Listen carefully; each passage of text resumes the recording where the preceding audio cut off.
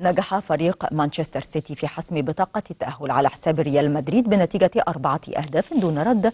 في المباراة التي أقيمت بينهما ضمن منافسات إياب نصف نهائي دوري أبطال أوروبا. حسم السيتي التأهل بنتيجة خمسة أهداف مقابل هدف بمجموع مباراتي الذهاب والإياب بعدما تعادل إيجابيا بهدف لمثله في العاصمة مدريد. بتلك النتيجة يضرب فريق مانشستر سيتي موعدا في المباراة النهائية أمام إنتر ميلان الإيطالية.